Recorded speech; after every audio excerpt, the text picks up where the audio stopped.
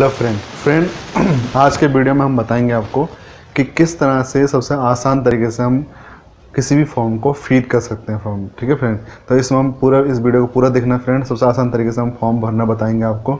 जो इजी आसान तरीके से हिंदी हिंदी के माध्यम से।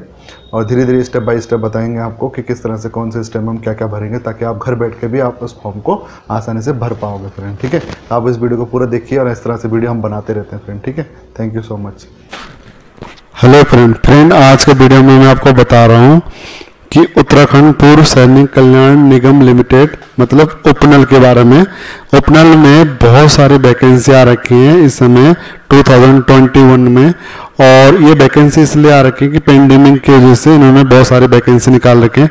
उत्तराखंड जो ये उपनल है, ये उत्तराखंड के जितने भी गवर्नमेंट नॉन गवर्नमेंट सेक्टर जितने भी होते हैं, उनके लिए वैकेंसी कराता है और आउटसोर्स के हिसाब से। और इसकी सारी सैलरी सारा जितने भी चीज़ें देती हैं, वो सारा उत्तराखंड गवर्नमेंट देती है। तो बहुत सारे बच्चे इसमें लग भी रखे हैं, बहुत सारे कैंडिडेट इसमें लग रखे हैं, कई सालों से काम भी कर रहे हैं। कम से कम बीस, तीस हज़ार से ज़्यादा लोग इसमें काम कर रहे हैं आउटसोर्स के माध्यम से। और आजकल उत्तराखंड में जितने भी वैकेंसी आते हैं, सारे आउटसोर्स या उपनल के माध्यम से ही आते हैं, और वो सारा उपनल ही कराता है मतलब उत्तराखंड पूर्व सैनिक कल्याण निगम लिमिटेड पहले खाली ये आर्मी के लोगों के लिए था, अभी ये सारा जो आम लोग हैं, उनके लिए भी कर दिया गया है, जब से पेंडेमिक के बाद। तो इसका मैं बताता हूँ, किस तरह से इसकी वैकेंसी देखना है। यहाँ पे हम गूगल डालेंगे, और गूगल में हम लोग क्या करेंगे कि यहाँ पे ओपनल यू पी एन एल लिखना है आपको, और इस पर इंटर मारना है। और यहाँ पे जो पहले नंबर का लिंक दिख रहा है, उस पर क्लिक राइट क्लिक करके ओपन कर देना है, ठीक है फ्रेंड तो जहाँ पे ओपन करेंगे तो यहाँ पे आपको उसकी साइट खुल जाएगी। ये देखिए फ्रेंड इस तरह से। और यहाँ पे अगर आप देखेंगे कि वैकेंसी कितनी वैकेंसी आ रखी है कहाँ कहाँ आ रखी हैं किस किस डिस्ट्रिक्ट में आ रखी हैं, वो सारी यहाँ पे दिखाई देंगे आपको। अभी इसके जो मिनिस्टर हैं, वो आपके श्री गणेश जोशी हैं, और यहाँ पे वैकेंसी इसकी यहाँ से खुलेगा। और यहाँ से ये देखिए फ्रेंड दो डिवीज़न में बांटा गया गढ़वाल डिवीज़न और आपका हल्दौली डिवीज़न, मैंने कुमाऊं डिवीज़न। इसमें देखो चमोली है टीरी है, रुद्रप्रयाग है, देहरादून है, पौड़ी है, अल्मोड़ा है, ये सब बहुत सारी वैकेंसी इसके अंदर आ रखी हैं और किस किस पोस्ट के लिए आ रखी हैं, ये सब यहाँ पे दे रखे हैं।